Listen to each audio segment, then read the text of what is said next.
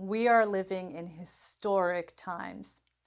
Recently, we witnessed the first Middle East peace deal in 26 years, brokered by President Donald Trump with Israel and the Kingdom of Bahrain, and between Israel and the United Arab Emirates.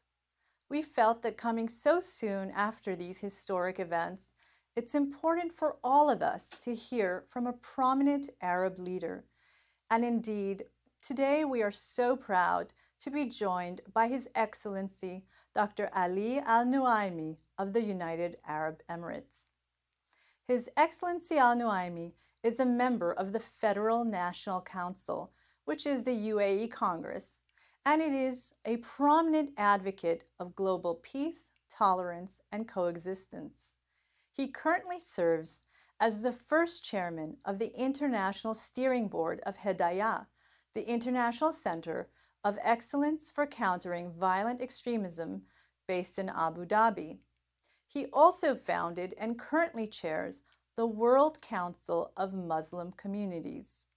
And now, His Excellency, Dr. Ali Al Nuaimi.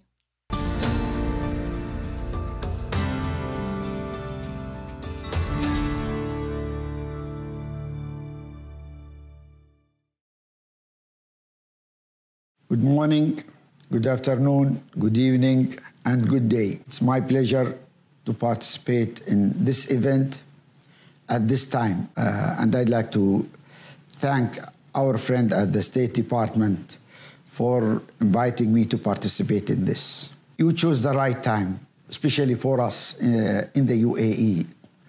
You know, we are really proud that we are making history in these days because of the of signing the peace treaty uh, between the UAE and Israel. So I think you know we concluded our development uh, the way that the UAE as a nation evolve with this major initiative, changing the region, uh, pointing to everyone in the region and worldwide that peace is a must.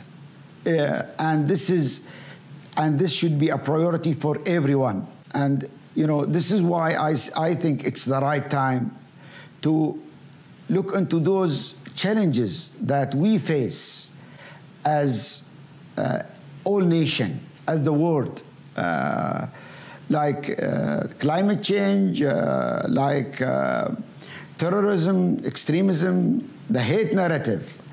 And this is why I think you know you chose the right uh, theme for this event uh, because we need to look into it to counter it in a way to develop a new strategy to deal with it. When it comes to anti-Semitism, I think you know the what happened in the last uh, three weeks in the UAE showed that we, we, we, we did a great accomplishment because it's not the UAE leadership who made the decision and move forward with the peace treaty with Israel. It's even the people. The people here in the UAE are happy with it, they are very supportive with it, and especially the youth. And this is why I think that we have something to show to the, the world and to the region when it comes to coexistence and when it comes to countering the hate narrative and anti-Semitism. Uh, the UAE, you know, we did, we work hard in the last 30 years to counter extremism within the UAE, changing our educational system, changing our uh, religious narrative, Islamic narrative, uh, trying to promote the value that we share with everyone as human being, trying to promote the co- coexistence values and create a new ecosystem within the UAE and the region uh, related to tolerance and acceptance of others. This is why you have all these nationality with different religion, uh, even Jew, they are here. They are most welcome.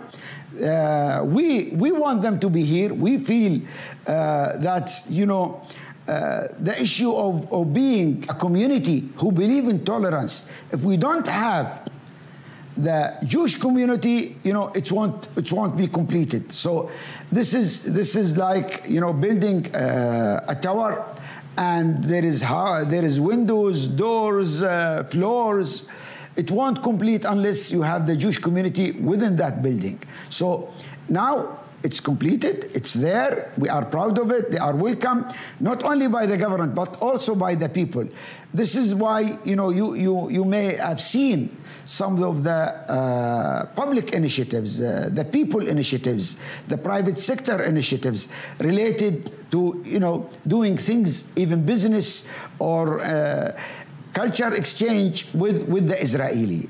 And recently we are having the kosher restaurant in Abu Dhabi, which you know was publicized and everyone everybody was ha- happy to have it here in, in, in Abu Dhabi. That's that's you know uh, a proof of an evidence that show how the UAE you know is is is actually enjoying the the value of believing in diversity and coexistence.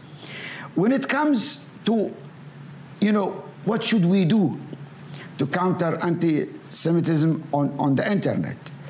I think it's very important to start with education because even in many Western countries, we have the laws that prohibit these narrative, but unfortunately, it's still there for decades. And I think it's, it's, the issue is that we have to start from the schools, from within the educational system, to make sure that the teachers in the classroom they are promoting these value value that values of coexistence of tolerance. And we have to engage also beside education public figures. Uh, for example you know there is uh, in our region uh, football or soccer in the us is very famous. We we should engage some of these public players you know, because the new generation look at them as a model. Let them in, be engaged in some activities that promote coexistence, that promotes the, the, the issue of living together uh, regardless of having being uh, looked at uh, your religion or your ethnic or your color or your, your nationality. So I think we, we have to go to the basic and start from the basic. It's very important to have the laws, but the laws only will counter later on. It, it won't work as uh, based on prevention. And this is why I think we have to engage public figures from the beginning. And, you know, we should have the courage uh, to do so and also engage the religious leaders and community leaders. I believe religious leaders have a special responsibility from different religion to come forward create common initiatives work together show the all the community that they, they work together. There is there is culture initiatives public initiatives. They are doing it together for everyone not only for their followers. That will send a message also. Uh, i believe the world is changing uh, especially our region, the Middle East is changing.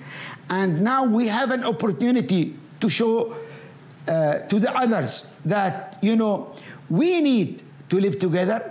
We need to respect each other. We need to believe that all religion, they have great values and everyone has the right to believe in the religion that he believes in and to follow the values that he believes in. So, and we should create a culture where we, we, we seek the protection for everyone and for their values, for their community. And we feel that there is a common responsibility that we have to step in, you know, and speak loudly and have the courage to uh, protect the whole community, not only a group or a certain sector of that, of that community. We need to create a culture of a common responsibility values in our community to move forward to create a better future, a future of peace, stability, and love for everyone. again, thank you very much for uh, inviting me and hope that, you know, we'll see you soon, you know, uh, after COVID 19. Thank you.